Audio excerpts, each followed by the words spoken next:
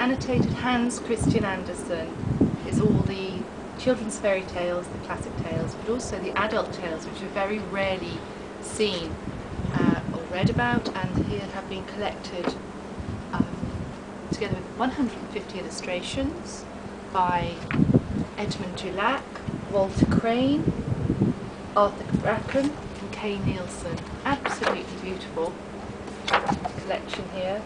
The Emperor's New Clothes, The Snow Queen, The Little Mermaid, Thumbelina, The Little Match Girl, Princess and the Pea, and many more.